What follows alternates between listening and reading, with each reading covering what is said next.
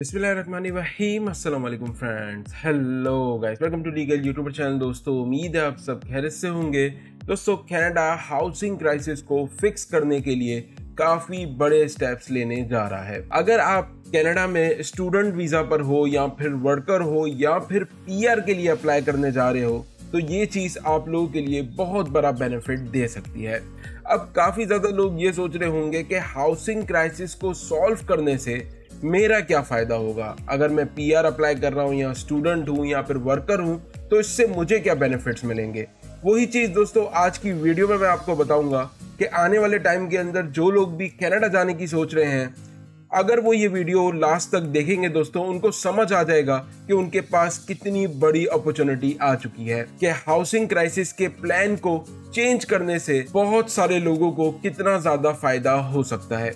करते हैं इस वीडियो को शुरू। दोस्तों, मेरा नाम है राजदेक और आप देख रहे हैं लीगल यूट्यूबर चैनल। चलिए शुरू करते हैं।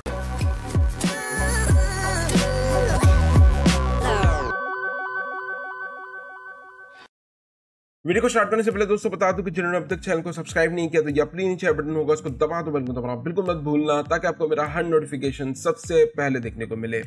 अब दोस्तों, ये बात तो हम सब जानते हैं कि इस टाइम कनाडा के अंदर काफ़ी ज़्यादा हाउसिंग क्राइसिस चल रहा है।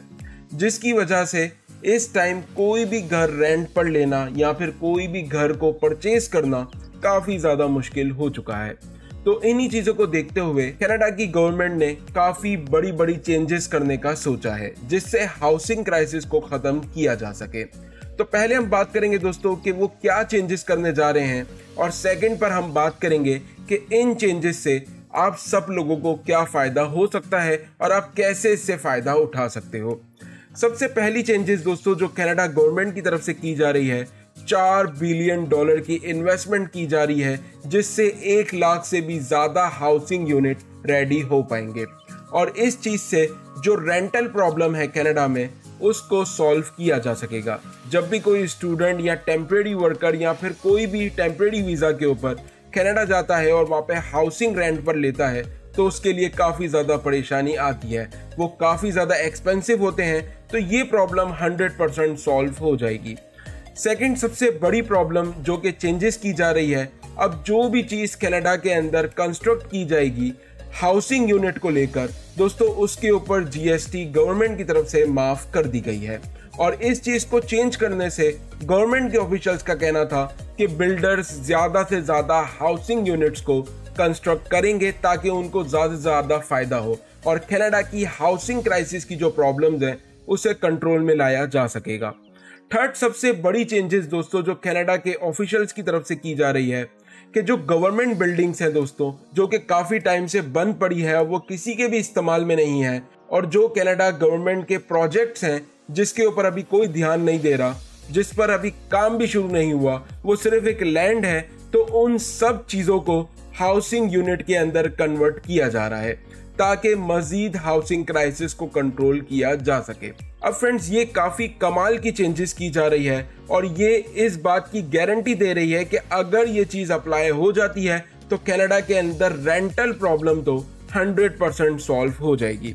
काफ़ी लोगों का कहना होता है कि कनाडा में महँगाई बहुत ज़्यादा हो गई है रेंट बहुत ज़्यादा हो गए लोगों के लिए घर खरीदना वहाँ पे काफ़ी ज़्यादा मुश्किल हो चुका है तो ये सारी प्रॉब्लम्स इनसे सॉल्व हो जाएगी। अच्छा अब इस चेंजेस से स्टूडेंट्स या फिर वर्कर्स को क्या फ़ायदा होगा? दोस्तों, सबसे पहली बात तो तमाम कैटेगरीज को ये फ़ायदा होगा कि जो हाउसिंग क्राइसिस की प्रॉब्लम थी, जो कि रेंटल प्रॉब्लम थी, वो अब 100 परसेंट सॉल्व हो जाएगी। और जो लोग कंस्ट्रक्शन की फ़ील्ड में है, उनके लिए अब ये एक गोल्डन अपॉर्चुनिटी आ चुकी है कि उनके लिए जॉब की भरमार होने वाली है कनाडा में। और 100 परसेंट गारंटी है दोस्तों कि कनाडा कंस्ट्रक्शन वर्कर्स को पीआर भी ऑफ़र करेगा। साथ ही जो लोग इंडिया या पाकिस्तान से कोई भी कंट्री से हैं और वो कनाडा जाने की सोच रहे हैं तो अगर वो कंस्ट्रक्शन की फ़ील्ड से रिलेटेड है या फिर कंस्ट्रक्शन की फ़ील्ड से रिलेटेड जो है, वो स्किल्ड हासिल करके कनाडा जाते हैं तो उनको जॉब काफ़ी ज़्यादा आसानी से मिल सकती है। और जो स्टूडेंट्स इस फ़ील्ड के रिलेटेड स्टडी भी कर रहे हैं, आपने रिसेंटली सुना होगा कि कनाडा आईआरसीसी ने बताया था कि पीजीडब्ल्यूपी जिन ऑक्यूपेशंस की हमें ज़रूरत होगी, उनको पाँच साल के लिए इशू किया जाएगा। तो फ्रेंड्स 100 परसेंट कंस्ट्रक्शन वर्कर्स को पाँच साल का पीजीडब्ल्यूपी भी दिया जाएगा। साथ ही दोस्तों कनाडा आईआरसीसी की तरफ़ से एक और नोटिफिकेशन जारी किया गया है कि एक्सप्रेस एंट्री के अंदर ज़्यादा से ज़्यादा कैटेगरी बेस्ड ड्रॉ ही निकाले जाएँगे। और अगर दोस्तों ऐसा होता है तो कंस्ट्रक्शन की फ़ील्ड से रिलेटेड पीआर होल्डर्स को ज़रूर पीआर ऑफ़र की जाएगी। तो जितने भी लोगों ने एक्सप्रेस एंट्री के अंदर अपनी प्रोफ़ाइल सबमिट की हुई है, अब चाहे उनका C R S score low है या हाई है, उससे कोई लेना देना नहीं है। अगर कंस्ट्रक्शन की फ़ील्ड से रिलेटेड ड्रॉ कंडक्ट किया जाता है तो ये बहुत बड़ी अपॉर्चुनिटी होगी उन लोगों के लिए जो कि कंस्ट्रक्शन की फ़ील्ड में काम कर रहे हैं या उससे रिलेटेड उनके पास एक्सपीरियंस है।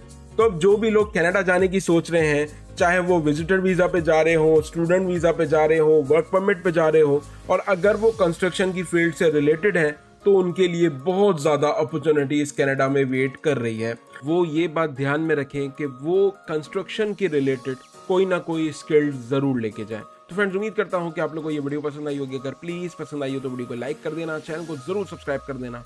मिलते हैं किसी नेक्स्ट इंटरेस्टिंग वीडियो में, तब तक के लिए गुड बाय